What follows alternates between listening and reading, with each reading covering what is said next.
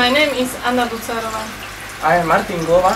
And our aquarium is located in St. Thomas Aquinas Grammar School in Košice. There are nitrifying bacteria, which are used as biological filter. As you can see, level of nitrite decreases, but level of nitrate increases. This is ion exchange column, which we use for reduction of nitrate content. We can predict level of nitrate using this program. There you can see a line graph showing experimental data and there is graph showing calculated data. Measurements were done at Slovak Academy of Sciences in Košice at Dionex ICS 5000.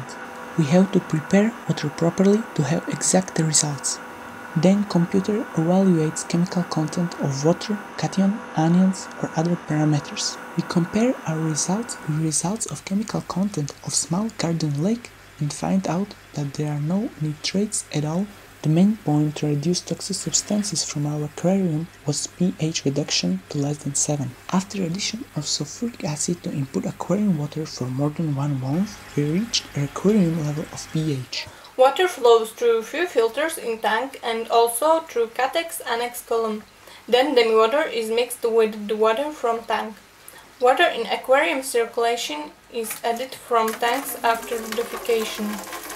Here we can see defecation. Here are discus when they were about 3 months old and about 3 centimeters long.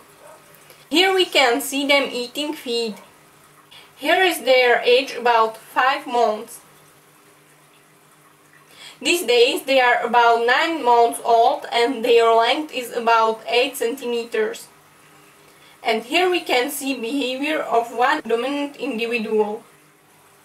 And again as they are eating one breeding pair at the end.